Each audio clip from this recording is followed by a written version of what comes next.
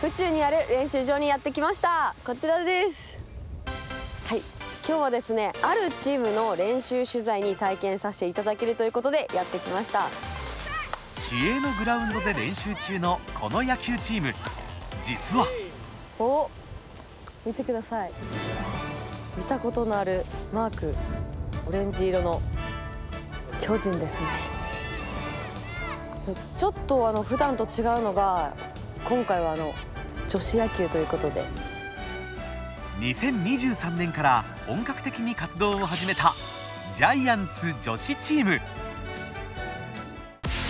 ソフトボール元日本代表の長崎かつての野球といえば。私の時は、まあ、野球やってる人口が今よりもすごい少なかったの。と女子はソフトボールやるっていうのが、まあ、普通でしたねその頃は、うん、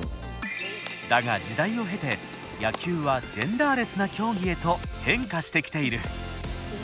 チームを率いるのはこの方。ようこそ。ありがとうございます。今日はあの体験させていただありがとうございます。ぜひお待ちしてましたよろしくお願いします。現役時代からジャイアンツ一筋。3度の胴上げ投手に輝き明るいキャラクターで人気を博した宮本和知なぜ今女子チームを発足したのかまあ大きく言えば SDGs という部分、まあ、ジェンダー平等っていうね目標5にありますけども男子のですねプロ野球もありますしねあのメジャーなスポーツでなぜ女子の公式がメジャーにならないかっていう部分ですよね、まあ、それが一番大きいところにあってそれ以外に今女子の野球の競技人口がもう年々増えてますね。あの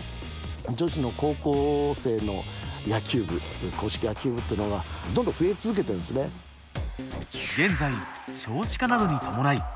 高校の公式野球では部員数が年々減少の一途。しかし対照的に女子の競技人口は増加。世間の注目も追い風になり2021年には史上初めて甲子園で女子野球の決勝戦が実現。さらに球界のレジェンドイチローも注目。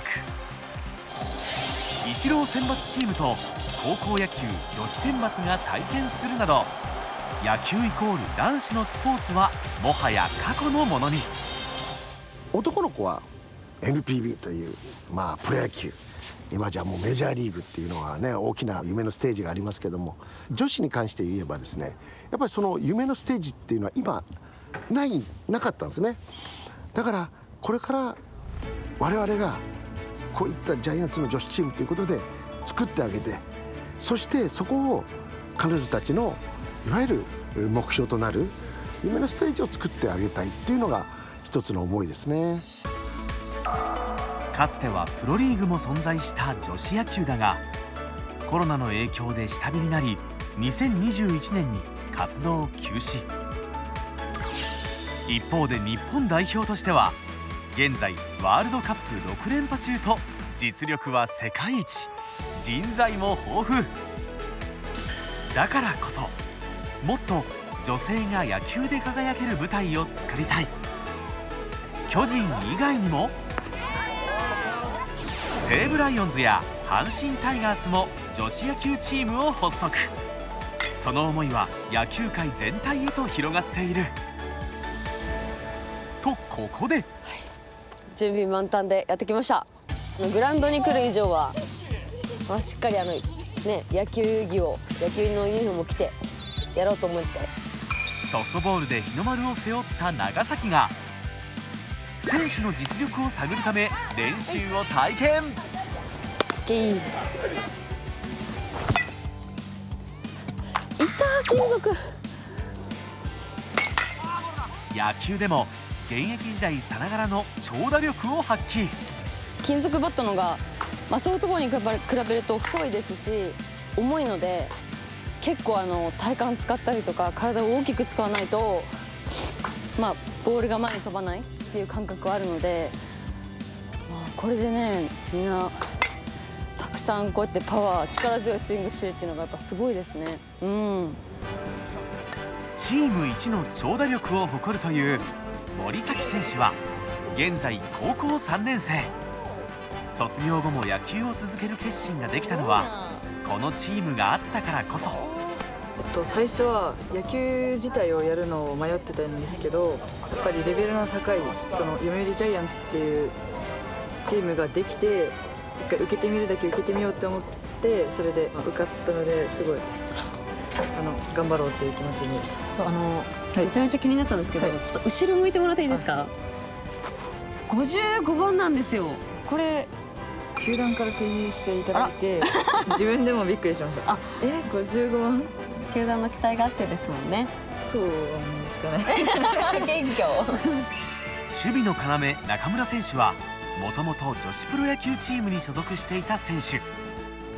まあ、やっぱりこのジャイアンツ女子チームっていう中で球界を代表するこうジャイアンツさんのユニフォームを着てプレーさせていただけるということで女子野球選手の憧れとなるチームにできるように頑張っていきたいなと思います。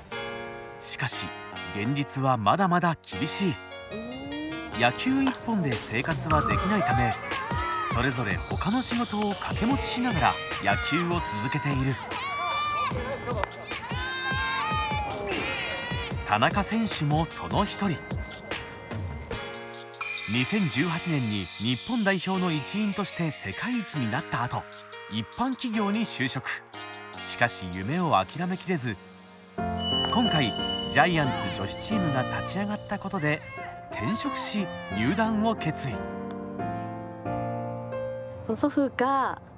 もう一番のジャイアンツファンでずっと小さい頃からジャイアンツの試合を一緒に見に行っていたんですけど、まあ、昨年亡くなってしまってでそのユニフォームをまあ見せたいっていう思いもあって決めました。毎朝練習を終えると。